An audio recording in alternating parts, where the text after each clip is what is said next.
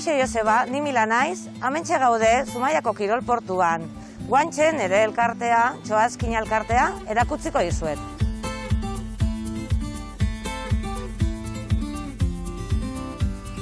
Txoazkin elkartea sortu zen, 2008an, elkartze zian, arrantzain da gero, sozeartzea, eta hortikan sortu zen, elkarte bat sortzeko ideia.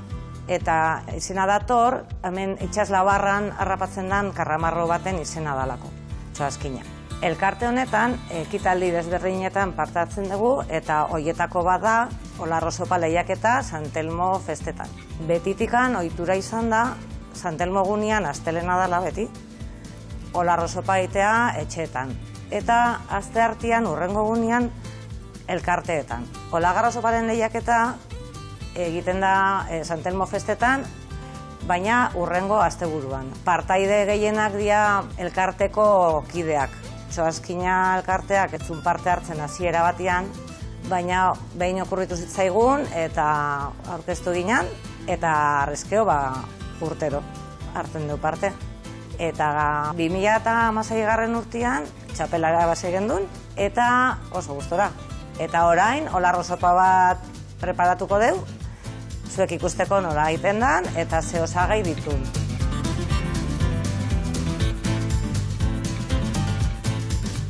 Barazkiak, tipu laporrua, baratzuria eta kaiena, pimentoia, gatza, tomatia, oinaka, txakolin pixkat, olilua, sopako gila, eta nola ez gure plateraren izarra, olagarroa.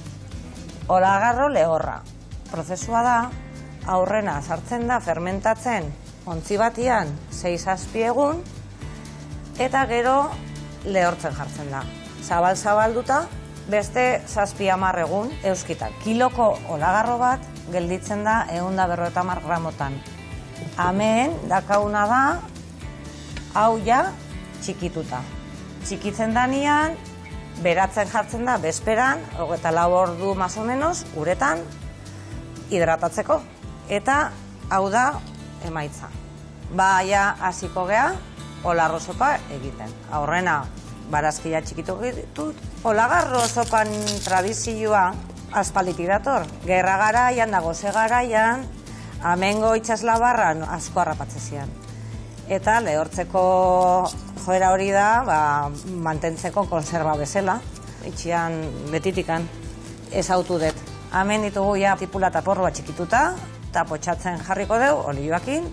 Hau egiten dan bitartian, beste osagaiak prepatzen jungo beha. Beratzen dakagun olarrua, kolatu. Eta ura erreserbatuko dugu, gero osagai danak ur honekin egosteko.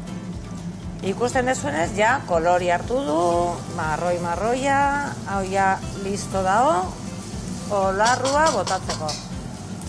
Piskatera ingo dugu, olarrua nananaztu, Erzetar desberdina daude, base badake, baina geho bakoitza bere trukua du, gero sekretuak ere badaude, eta behitu ze kolore hartzen du. Ondoren, botako deu aurren agatza, pimentoia,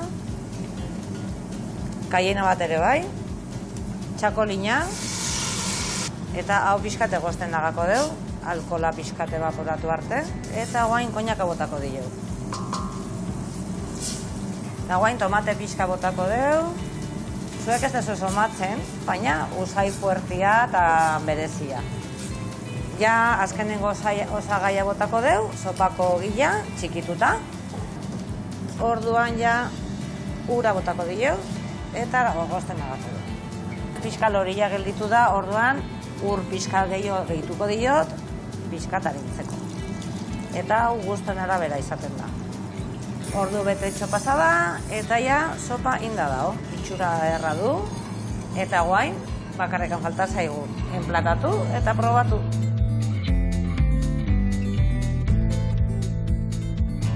Bueno, hemen dakazue, olarro sopa eginda, espero dut zozei ikastia kulturai buruz, tradizioi buruz, eta nahi dezuenian, zumaira torri, olarro sopa probatzea. Agur.